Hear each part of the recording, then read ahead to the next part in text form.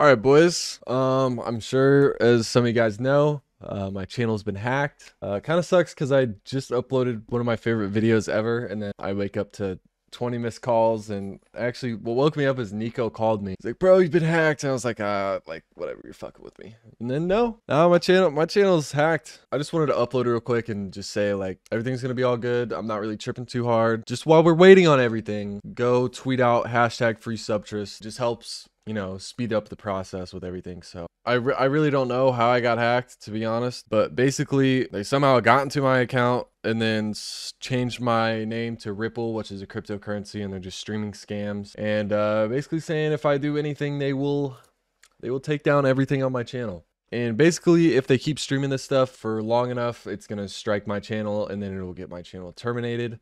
I should be able to get everything back just because it's not me. And it's this has happened to multiple other creators before. It's a very common thing. I just want to let you guys know that I'm aware of everything and I wanted to just let you guys know what's going on pretty much.